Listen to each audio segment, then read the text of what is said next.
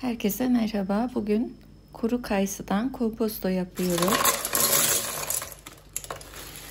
Yarım kiloya yakın kuru kayısı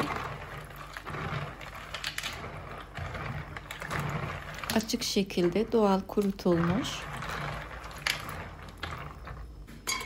soğuk suda 15-20 dakika ıslatıp birkaç su yıkayıp tencereye alalım.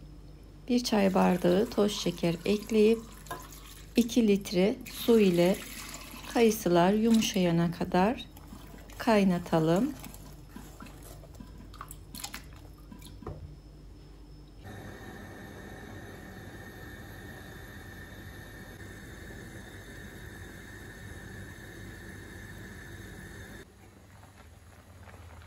Yarım saat sonra kayısılar yumuşadı.